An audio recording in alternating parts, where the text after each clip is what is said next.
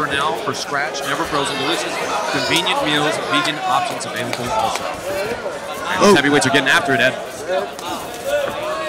Good jab from Adrian. Our only heavyweight bout of the night, and it is underway quickly. Mailboy with a leg kick.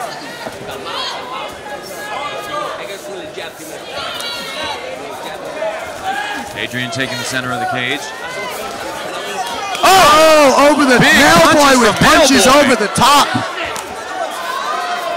Mailboy is swinging. Good leg kicks from Mailboy as well. Well, we know the reputation of heavyweight fights. They either end early with a bang or, oh, Adrian with a nice punch over the top. And these boys are swinging, Ed. They're just boxing.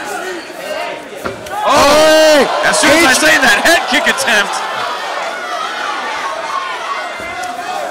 Look at Adrian minding his range. Look at Adrian minding his range, and now he's starting to stalk Mailboy. Mailboy's dealing with the little cut on the, looks like maybe the Oh! tip of his nose. Mailboy with a No, good punch over the top right there, though.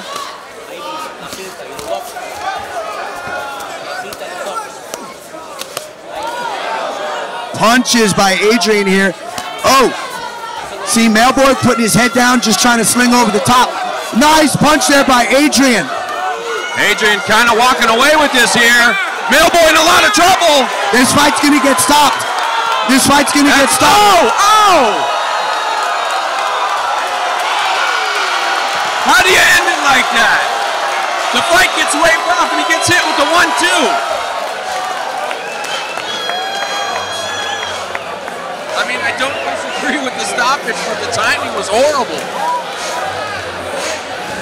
No, Mailboy was just covering up. He, he took too many unanswered shots right there.